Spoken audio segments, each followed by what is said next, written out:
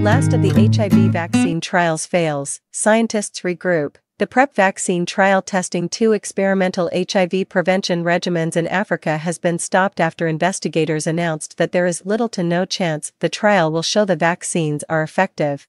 This Phase 2b trial was the last attempt in this generation of vaccine development, which has used non neutralizing antibodies, experts say, and scientists will have to begin anew. We cannot and will not lose hope that the world will have an effective HIV vaccine that is accessible by all who need it, anywhere. International AIDS Society, IAS, Executive Director Birgit Poniatowski said in a statement The African led European supported HIV prevention study has been running since 2018 at four sites in Uganda, Tanzania, and South Africa, and has involved 1513 participants aged 18 to 40 years. The vaccine trial was testing two experimental combination regimens designed to protect against HIV and a new form of pre exposure prophylaxis. The PrEP trial will continue. Almost 21 million of the 39 million people in the world with AIDS live in the test site region of Eastern and Southern Africa, according to the IAS. The news isn't a huge surprise, as the last two HIV studies testing non neutralizing antibodies showed a lack of efficacy. Larry Corey, MD, virologist and principal investigator of HIV Vaccine Trials Network. Headquartered in Seattle, told Medscape Medical News, but the results of this trial may help answer a question. There is a small group of people who have really high immune responses to a part of the virus we call the V1 V2 loop, he explained. But the frequency of people with that immune response is only 8% to 10% of the population. If this trial, using a different vector, shows the same thing, then we have to spend a lot more time making an immunogen that gets 100% of the people to the levels of immunity that might be correlated with the V1 V2 loop. He explained. But the frequency of people with that immune response is only 8% to 10% of the population.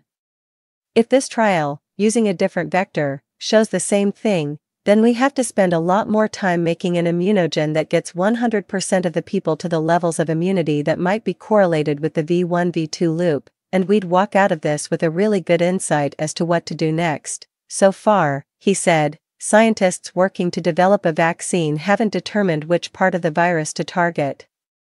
The clinical trial was very well done, and that's the success, Corey said. But are we going to learn from it? The lack of an HIV vaccine continues to frustrate patients and scientists. Especially because vaccines for other diseases, such as COVID 19, have been developed at record speed. But COVID 19 presented a completely different challenge for vaccine development, he explains. We're doing something much harder with HIV than we did with COVID, he said. COVID vaccines prevent you from getting sick, you still get infected. With HIV, you have to prevent someone from getting infected in the first place.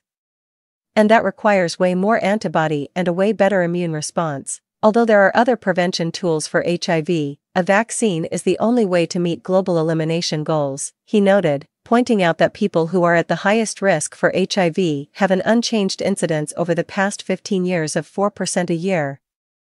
We are nowhere close to ending the HIV epidemic, Corey said we're not going to meet the 2030 goal.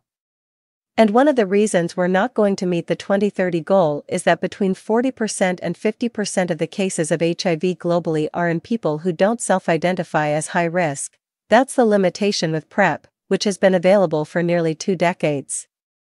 It counts on the acceptance, intake, and adherence of people at a high risk for HIV. That has been abysmal with oral PrEP, he said. There are long-acting antiretrovirals or long-acting monoclonal antibodies. But from a cost and effort standpoint, those would also be focused on people who consider themselves high risk, he pointed out. In some countries, you could make a case that everybody's high risk. The only way we've really ever controlled a disease on a population base is with a vaccine, he said. Just because it's hard doesn't mean you give up. All the data say you've got to have it.